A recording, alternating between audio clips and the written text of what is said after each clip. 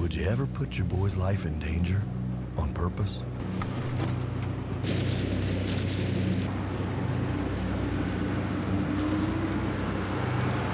Then don't. Spit tobacco is highly addictive, dangerous, and deadly. Don't pass it on to your boy. Save face. Stop spit tobacco.